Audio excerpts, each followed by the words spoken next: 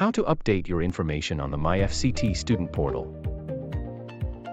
In this video tutorial, we will demonstrate how you can update your personal information on the MyFCT student portal.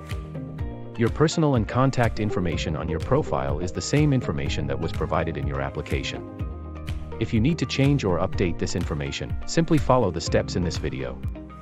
First, log into your MyFCT student portal at my.flemingcollegetoronto.ca. To view or change your profile information, click on the My Profile link underneath your profile picture.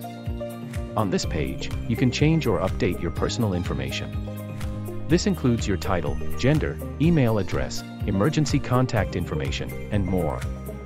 The fields in white are the ones that can be updated. Simply click one to change the entry.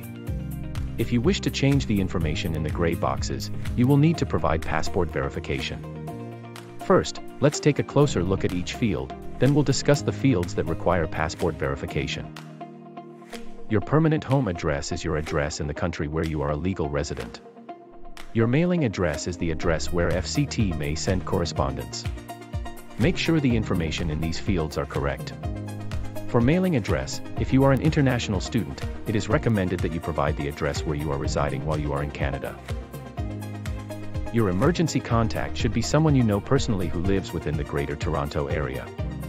Before adding them, let them know that you want to list them as your emergency contact. Once you have double-checked all your information, click on Save Changes. If you are unable to save your changes, ensure that you have completed the mandatory fields marked with a red asterisk. Now, let's look at the sections that require passport verification, including legal name, birth country, and date of birth.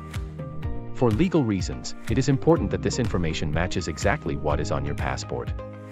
In the Personal Information section, click on the Edit Primary Fields link at the top right. This will take you to the page where you can update or change your first, middle, and last names, your birth country, and your date of birth.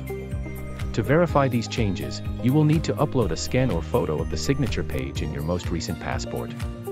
To learn how to upload documents, please watch our video, How to Upload Documents to the MyFCT Student Portal.